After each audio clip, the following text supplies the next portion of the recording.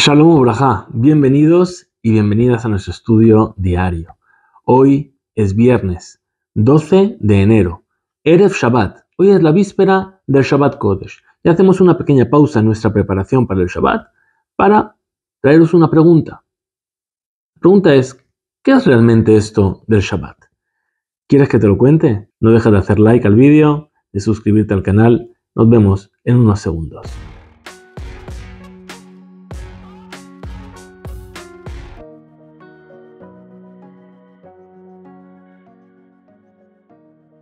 Cuando llega el viernes por la noche, comienza el día más especial de toda la semana.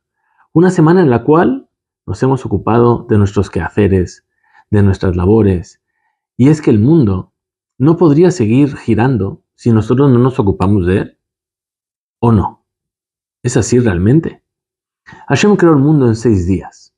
Y el séptimo día, el séptimo día, perdón, cesó en su labor de creación. A ese día lo llamó Shabbat y nos dijo, durante seis días trabajarás y el séptimo, y el séptimo cesarás en tu labor.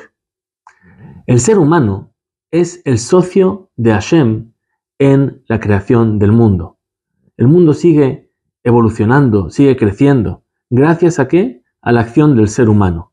Y nosotros podríamos pensar, es que si yo no sigo haciendo mis labores, el mundo colapsaría. ¿Quién va a hacer que el sol salga mañana si yo no voy a mi trabajo? Viene Hashem y te dice, ¿sabes qué? Mira, déjamelo. Vamos a, vamos a hacer una prueba. Un día no trabajes. Un día no te ocupes de tus, de tus labores.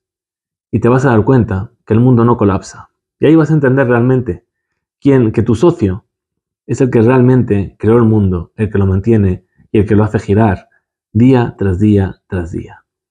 Ese es el sentido del Shabbat.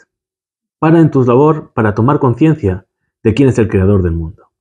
Ahora sí, que tengamos Shabbat Shalom Umeborach, Hizku Beimso.